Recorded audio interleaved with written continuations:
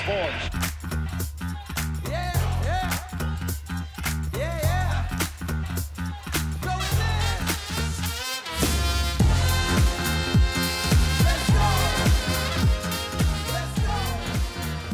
So I was listening recently to this amazing podcast uh, about the 1992 Dream Team, and know, it got me thinking. You know, in 1992, it was not only just this extraordinary basketball team that just dominated the Olympics in Barcelona, but um, you know, at the time, there were just a handful of international players in the NBA, which of course is the premier league in, in, in the world.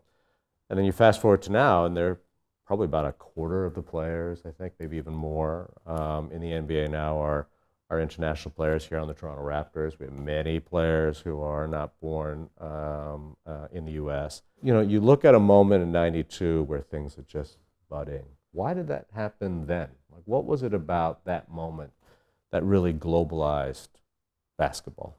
I think for one, it was the coming together of all those superstars Yeah. and seeing them on the same team. Yeah. It was so important for that team to bring together Magic Johnson and Larry Bird and Michael Jordan. Yeah. And if you watch the documentaries, the back and forth in terms of Yeah, getting they didn't them really together. like each other at first, right? Yeah, exactly. yeah, yeah. So trying to make that happen, um, and then you knew what was going to happen once they were on the court Yeah, but to see it was just a different thing. And Yeah. for me, I remember, you know, I didn't see that team play, Right. but you heard all the stories, Yeah. and that's part of why, you know, even though bas- like the NBA wasn't that accessible growing up in Dubai, yeah, when Space Jam came out, I was like, I have to see it. right, right, Right, I, I, I wasn't watching the NBA or anything like that. Yeah. But when that came out, it was like, oh, this is Michael Jordan. You have to see it. right.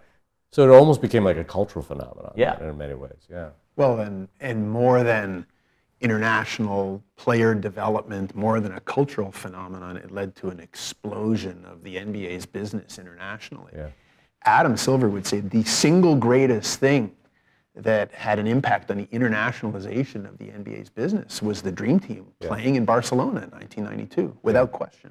when we were watching in 1992, we were we were watching as closely to the U.S. beating Angola by like 60 points as we were like, you know, between what was the conversation like between Michael Jordan and Magic Johnson, and where was Larry Bird fitting into all of this, and you know how much trouble was uh, Charles Barkley going to get into when he was in Spain and so on. So like people were like they were following these individual players, like they're iconic people as well. Actually, let me let me take you back to uh, when you graduated from college, and um, soon thereafter you went off to England, right? Yeah. To play in Derby. you know, when you look back at like maybe pivotal experiences in your life that Yeah. really changed your life. Yeah. Like me, me getting on that plane and going to Derby, because I'd been raised and educated and grown and lived all my every second in Iowa, Yeah. and now all of a sudden I'm I'm in Europe and I'm in England and I'm that really transformed me just in a lot of ways. And I think that's really just helped me be able to, you know, coach a team of international Yeah. people. So one of the things that um, during the 2019 run, right, um, the Jurassic Park, like I'm gonna say plural, Yeah. um, was amazing. Yeah. And in fact, part of the whole thinking behind this show was around, you know, this sort of global community Yeah. in this just tightly packed space. And I was walking around, it's like people of all different color and, uh, you know, it's, it's all the ages. Like there's a sort of community uh, that the Raptors Yeah. have been able to create. And I don't think that you see that everywhere. My biggest takeaway from the parade Right. was when I got done, I just I had this like pickup truck I was riding in the back of. Yeah. So I was kind of up in the air standing and and I just could not believe the smiling faces Yeah. of the young kids of every color Yeah. from all over the world Yeah. constantly along that parade route. I just that was my You, you, that was what yes, you were thinking. that was my when I like got up the next day. Like that's what I was thinking of how amazing that was to see the whole world there. Yeah. This is kind of from an outsider coming to Toronto. It Yeah. feels that way when you Yeah. come here. Yeah. right? You know, when I first get here and I'm an assistant and I'm taking the streetcar to games, and, and you look in the streetcar and the whole world's in the streetcar, and everybody's, you know, saying "Good luck, coach," and Yeah, you know yeah. all this stuff, and you know what, you know, Yeah, and yeah. and um, I don't know, it just feels like it's um, part of the city. I remember when NBA.com kind of first mm-hmm. got started and going to that website and trying to get as much content as I could because uh, I couldn't access the games because of the time difference and the fact that I didn't even have the channel, mm-hmm. right? And so going there to get that. And now, if you look at it, the strategy is liter- literally let's put this in as many people's hands as possible. Mm-hmm. It takes a certain kind of mindset to say actually we want to demo- you know use the term democratize the sport. We want to open it up. We want to make this available to everyone and where everyone can feel like they belong. That goes against a lot of the kind of you know navel gazing you know closing borders closing boundaries type of impulses that we see now. So is that is that something that's really distinctive and unique to basketball where we or at least the, how the league has evolved and how the sport has evolved where there's a real open mindset as opposed to one that's a little bit more closed that we see in other sports It's not expensive compared to other sports. more So accessible yeah, exactly, much more expensive, uh, accessible. Just because you need a basketball and a rim, and if you really, you know, want to train yourself, um, you could find a way to, you know, practice. Maybe not the shooting, but like you could find other ways to actually work on the development of your skill, right? So uh, I feel like it, it's accessible for sure. We always used to joke that it was, and it wasn't just that. Even just the notion of basketball was accessible. If there was a, you know, garbage pail in the room, you'd, you'd scrunch up a piece of paper and, and take shots into it, right? you know, and, that, and that's sort of the magic of the game. Now, of course, you know, going to a game at Scotiabank Arena is not accessible. You know, that's an expensive proposition, and, and that's, I think that's what dovetails with the idea that let's make sure this content though can get out there to as many people. Yeah. That's what this is really about. Um, and, and that's been intentional, unique, I think, to basketball and to the NBA. And, and the idea of like, we're going to do everything we can do to get NBA.com and our app really popular, but we're going to do it by promoting Steph Curry's own Instagram page and LeBron's right to have social media platforms as opposed to, you know, competing against them. And I think that was very intentional um, from the start. one of the um, effects of the 92 dream team was was the realization of the extraordinary commercial benefits that um, uh, that could be realized by globalizing the sport. Do you find it's ever at odds the commercial the commercial drive, the commercial interest versus some of the other um, some of the other concerns that we might have with respect to sport or some of the other benefits that could come from sport? Oh, frequently. Um, I, I like to, you know, and, I, and I'm off. I've been involved for a good portion of my career in working in sport, promoting sport, you trying to use the power of sport to transform communities, Yeah. not just Canadian communities, but Chinese communities for a good portion of my career. When I was in tennis, it, we were trying to transform communities, sometimes in the Middle East and Qatar. Yeah. I like to find the sweet spot where those two things tend to connect mm-hmm. rather than when they're in tension. From an economic standpoint, I think I agree. I think there's it's such a fine line between capitalistic gains versus betterment of the sport. The way I like to see it is that it's net positive if you're thinking economic first. I mean, if we have more money from where I sit, um, there's more players who are getting an opportunity to play professional basketball. If there's more money, there's more people going out there and experiencing joy and happiness by watching a basketball game. But it goes back to intent and purpose. Like it always goes back to intent and purpose. So as a storyteller, I will find that net positive and try and tell it as best as I can. And I think the growth should never be restricted. Of course, keep intent and purpose in mind where it's not just about the bank balance. Mm-hmm. That's all. Try to pick up your pace a little bit going the other way, especially after a turnover. We got wide open shots all over the place. Okay, it's time to step up and start making them. Here we go.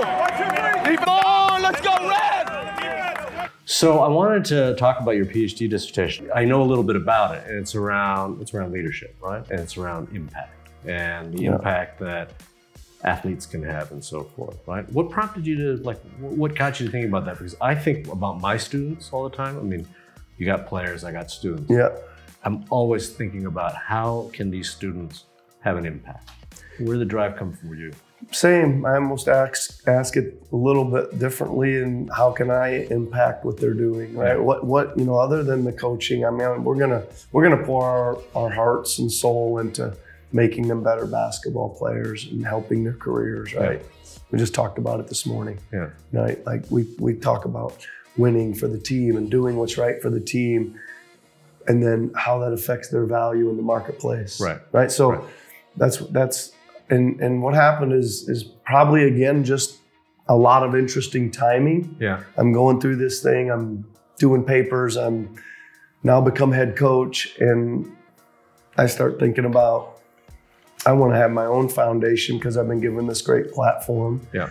And this is something I can research, yeah. learn about, do, yeah. and then be able to help the players when they're ready to do this kind of stuff. And that's really what happened. I was kind of right at the trying to figure out to start my own. I started doing some papers and research on it, and it Yeah. just led to like really early on. I knew this was what I was going to do for my dissertation Yeah. because I was just going to study that and then be able to pass on and help the players when they when they wanted to give back in their communities and make an impact that I would have the experience and maybe some knowledge Yeah. um, to pass along to them.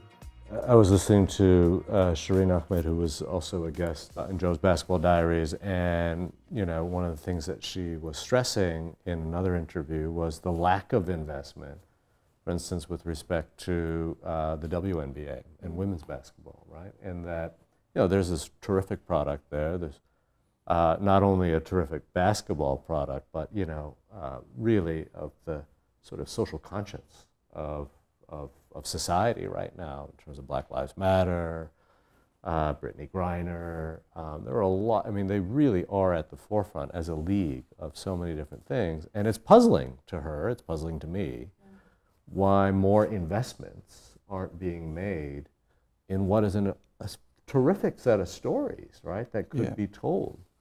I think yeah, it's definitely sad that the I guess women's sport is not getting as much attention um, from a various standpoint, and I feel like uh, I know NBA has recent like I don't think it's been too many years yet, but they've kind of started to um, align their logo with the WNBA when putting their um, uh, like uh, big announcements out, and even when partnering with uh, different sponsors. So I feel like that's kind of getting um, different people that haven't been aware of the WNBA to actually recognize this as an as an as a professional league and even inv- invest in it.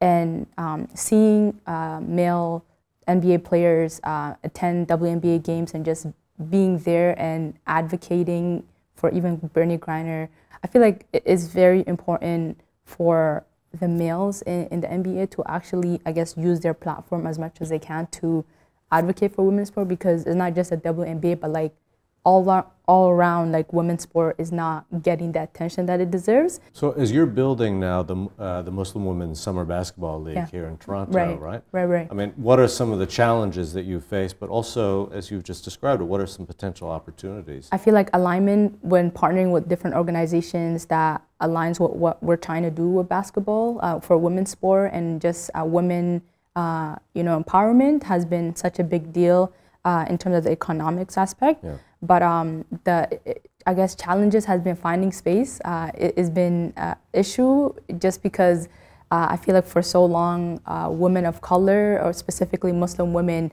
have been left out from these spaces. And when they come finally come to these spaces and say, "Hey, like, um, is it possible for me to even maybe get a, a prayer room when this time arrives?" You know, for example, when they say women-only spaces, is it really women-only spaces? Because I've even experienced it where um, you know a, a male would come by to do something, but now I took my hijab off, so it kind of you know took away the whole privacy aspect that was granted in the first place. So I feel like access to um, from a, a- a space has been a challenge, um, but luckily again, uh, just being in the city of Toronto and just how people were willing to accommodate and understand and willing to learn has been such a big uh, part of just the league growing and um, the, the attention is kind of you know getting. One thing that struck me over the summer was the women's uh, Euro Cup, and that wasn't accessible here in Canada. It wasn't available on TV. TV, anywhere.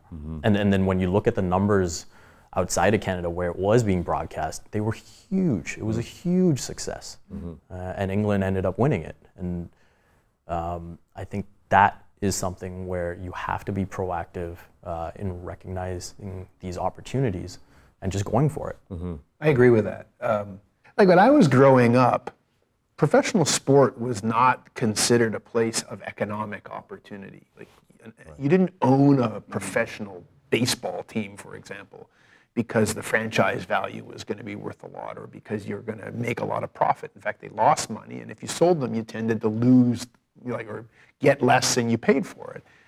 But lots of people, lots of men made the, econo- the non-economic decision to get involved in sport or get involved in sports content for whatever reason suited them. And I feel like to advance women's sport more, more people have that have deep pockets have to make non-economic decisions.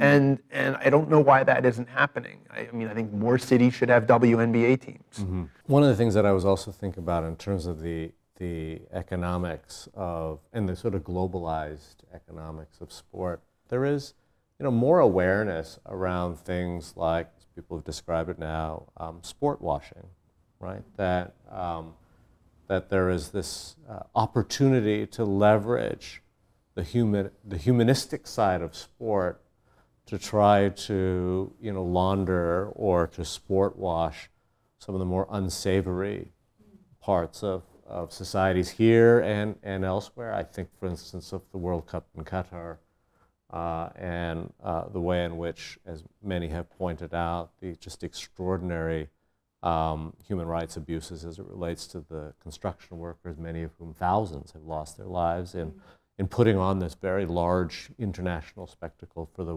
world to see. It's a real challenge to find that sweet spot, right? When you've got two diametrically opposed views. Let- Let's put the Beijing 2022 Olympic Games on the table because if uh, you know somebody else should, if I don't, um, the the abhorrent treatment of Muslim Uyghurs in Western China, um, in the Xinjiang region, is something that sort of got the world's attention. That uh, many got asked, including myself, repeatedly, well, what is Canada going to do about it? And we're at, you know, some people pressured us to boycott the games. And it, I, when I spoke earlier, tough, yeah. when I spoke earlier about I tend to err on the side of participation. Um, it's, it's taken me a long time to land in that space, but but it, it comes down fundamentally to the fact that I think it's incredibly unfair to ask athletes to solve problems that governments aren't themselves prepared to solve or, or have been unable to. I get that. But athletes have extraordinary power as well. You know, LeBron James says something and the world listens, right? Um, even, even a GM like Daryl Morey, right, with Houston, tweet something and the world is listening. When the Miami Heat, in the wake of the Trayvon Martin tragedy, and there's that famous photo of the hoodies up. Like, that was so powerful. That probably, that probably meant more in terms of its societal impact than anything any politician could say. Right? So while it is unfair to ask athletes to have to bear the burden of executing foreign policy, they have a lot of power. I feel like in terms of professional athletes, it's important to know that I don't think all, I feel yes they are you know they have this beautiful opportunity to make millions of dollars, but not all of them are are natural athlete activists because once they tweet out something, they have to literally be the expert in that thing. So every press mm. conference, every Yeah. they have to. So I feel like that's why sometimes they're hesitant on like, oh, I don't want to associate myself with Yeah. it. For example, Michael Jordan, you know, him not being, um, you know, in the Last Dance, as you know, he spoke about it that he didn't want to be involved in politics, you know, during his time, and he's gotten so much criticism because of it. So athletes definitely know how much power they hold, but like, do they really want to do all that because they're risking so much? athletes, coaches. I mean, folks in this in in uh, in the sporting world have. I mean, in one sense, they have a tremendous opportunity, right? I mean, there's just this amazing platform. Is this something they embrace? Is this something that's part of their DNA? They, they just see this as a responsibility, or is this something that is coached? Is this something that's coachable and teachable? You know, I start every season with this kind of either this mural or this pyramid or this coliseum of of our thoughts and ideas and our vision for the season. Yeah. One thing right at the top is being world leaders for cultural change. Wow. Right. So Okay. so and then I show them, you know, I show them Freddie and I show them Masai and I show them myself and Pascal and and and OG and Scottie and all these guys out there doing stuff and just letting them know that like if you want to do something, Right. we're here to help you. Translating one's own personal experiences into activism takes a lot of courage, right? Hundred percent. Yeah. to make that commitment, I think really does take um, some thought. And like Yeah, for me, I I think back to like you know you know Bill Russell who just Yeah. passed, and you really stop and think about that. Know. You think about him in that time in the United States, And in that town. in that town, Yeah. and that's one thing. Like you said, like the students going out, it's one thing. Yeah. Then you're out on display Yeah. constantly. It's you know can be dangerous. Absolutely. Yeah. It's You know- house broken into. For and- sure. You know, so so it's like you're right. It does take a a huge level of commitment and a tremendous amount of courage. Back in the day, you know, a sports journalist reported on the games, right? I mean, but now there is a there is a platform to have a much more activist voice, right? Just in terms of the content that you're producing now and your own writing as well, right? It's not just the game anymore, like the game last night, right? Yeah. But it's actually about capturing something bigger. No, there's no question. And I mean, you can't ignore it as well. Like, I remember working at the Sportsnet desk when LeBron James called Donald Trump a bum. Right. What are you going to do? Ignore that? Right. So we had to write about it and Right. everything that comes along with that. And so you have to be prepared for this kind of stuff. Um, going back to the bubble, um, we were doing all the player interviews via Zoom. And uh, Rondae Hollis Jefferson, who was playing for the Raptors at the time, we're asking them these personal questions um, and everything that was around the NBA's Black Lives Matter campaign. And he just stopped it for a second and said, Hey, you know, you're getting all these quotes from us. We need to see your voice too. To the media. Yeah. You're saying this to the media. Hmm. Hmm. Are you with us? You're covering us every day. Mm-hmm. You're making money off our backs. Are you going to stand with us too? And that was something that hit me mm-hmm. as well. And so I think we do have that responsibility in not just conveying what they're saying, but standing with them as well. I sometimes wonder is that I live in one of the most globally diverse multicultural cities in the world, right? And one of the things that I love about, for instance, being a fan of the Toronto Raptors is I'm in a taxi cab in Rwanda and the driver says, Hey, you know, the Toronto Raptors, you know, there are all these African players there. And this was at a time when Serge Ibaka was on the team and Pascal was on the team. You know, there's a real kind of globalness to Toronto. And I do wonder sometimes if the rest of the world is actually like that, right? And so when I think about uh, and I read about the hijabi ballers, for instance, or the Muslim Women's Summer Basketball League, which is a real grassroots initiative here.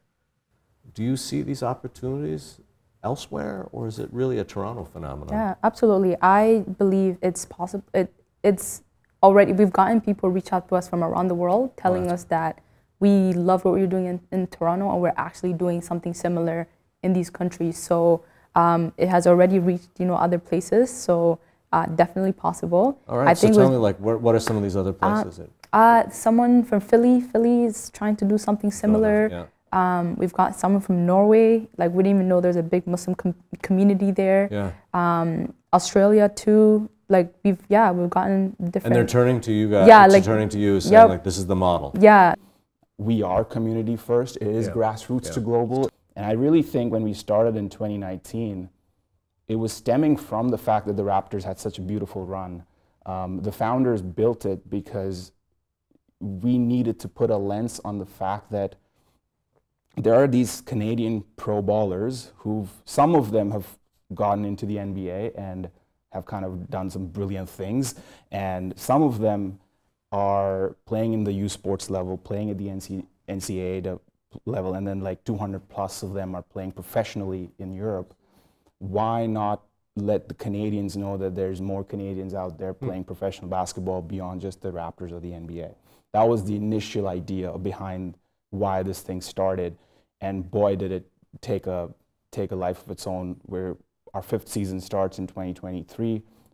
10, 11 teams now. Calgary just recently got launched. We're in Montreal, Calgary. Vancouver's got now its own team. Obviously, the Scarborough kind of taking over Toronto's team. As we look forward, the globalization of sport is here.